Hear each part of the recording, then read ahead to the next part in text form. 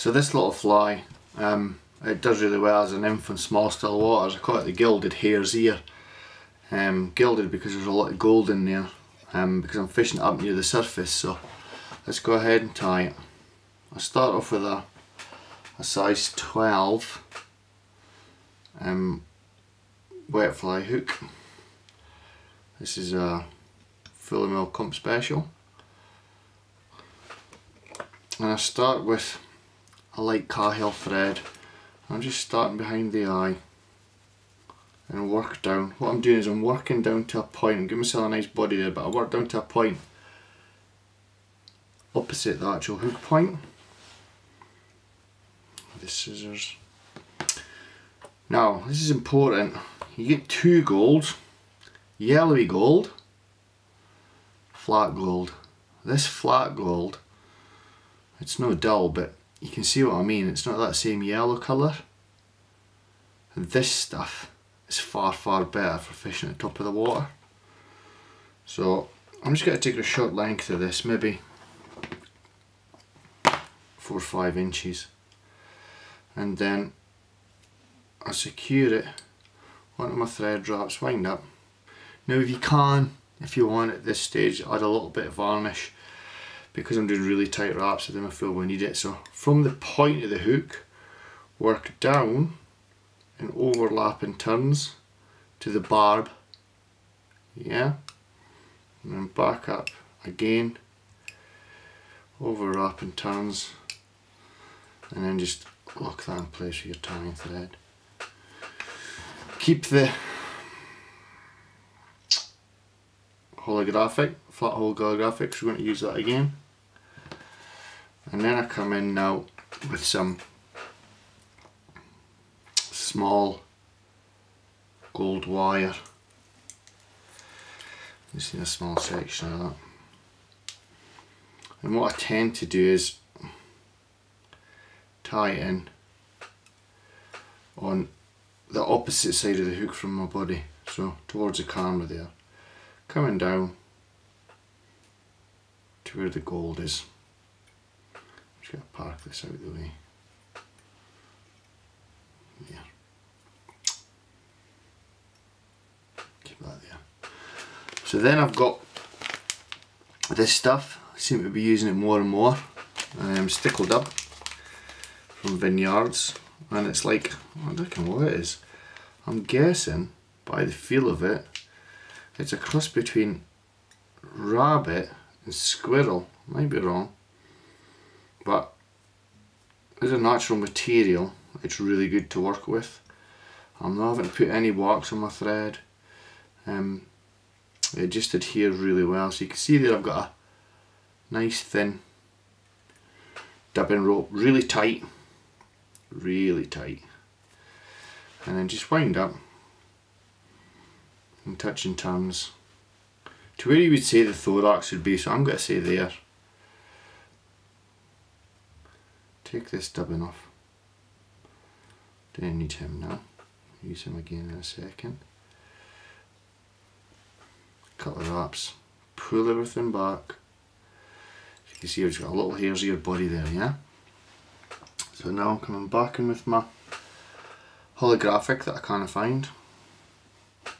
It is. And I'm going to create cheeks. So Turn it in at my side. Trim. Tighten at the other side.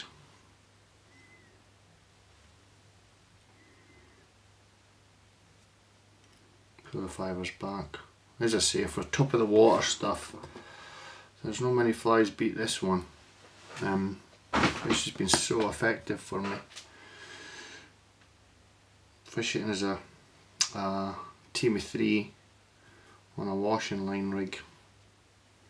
You can fish it on the drop as well, but I just feel that it fishes better up near the surface layers. We're going to take a little bit more stickle dub because I want a more pronounced thorax area. And then just come in You can see there it's a lot thicker, fatter. And because you're using a needle there, you can come right through the, the dubbing, pull everything back at the head, just a couple of wraps. And what I do, well, a lot of flies actually, is I just stick in a, a little whip finish there just to hide everything. So, we're now going to pull these um, cheeks, if you like, forward, catch them in at the eye, and then I pull them back. And what I like to do is rather than scissors I use a craft knife I take the two lengths. A sharp craft knife does the job on them. Really really well. Just snip that off.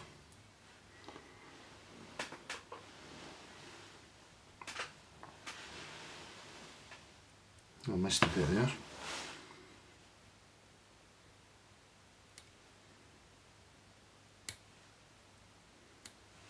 Hmm, missed a bit there, didn't I? So I've got my half hitch in place, then I come up with my gold wire through same way as a thread because all it's there for is to hold everything together. So two before the thorax, one, two through the thorax. You can still see these gold cheeks, but it just keeps everything nice and tight. Twizzle that off. Three times for a whip finish. And then just snip that there.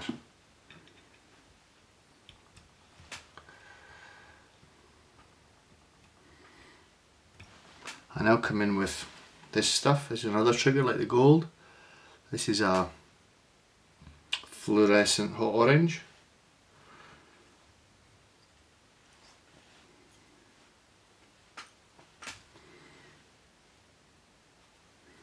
This should just tug away hopefully. Nope. I'm the scissors. And then just create a, a nice neat head. Start from the eye and working back a pronounced head on this thing.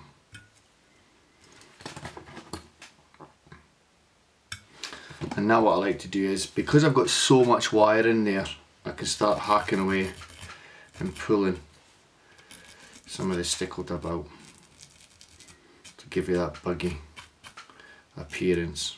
Also, by pulling some of the fibres out, it'll, it'll sink off a lot slower. So now we just come in a tiny little bit of varnish.